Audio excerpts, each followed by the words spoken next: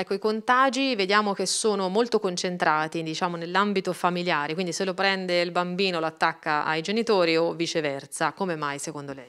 Ma eh, il, il, fatto che il contagio sia familiare è, è, perché all'interno della famiglia non si utilizzano i dispositivi di protezione. Il fatto di avere un figlio eh, caso per Covid eh, significa che i genitori devono indossare la maschera protettiva e il bambino deve comunque rimanere isolato il più possibile e i contatti tra i genitori e il bambino devono essere sempre mediati da dispositivi di protezione individuale. In generale il contatto familiare è una delle cause dell'incremento di questa epidemia.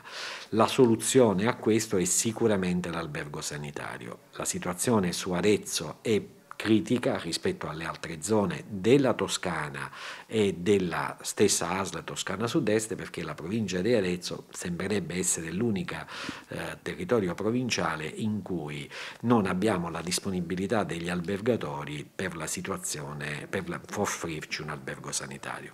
Devo anche dire che abbiamo fatto e stiamo facendo anche adesso una richiesta di disponibilità per vedere se troviamo qualche albergatore della provincia di Arezzo disponibile a mettere a disposizione alla ASL una struttura alberghiera per accogliere i soggetti che al proprio domicilio sarebbe bene non stessero in quanto affetti da Covid-19.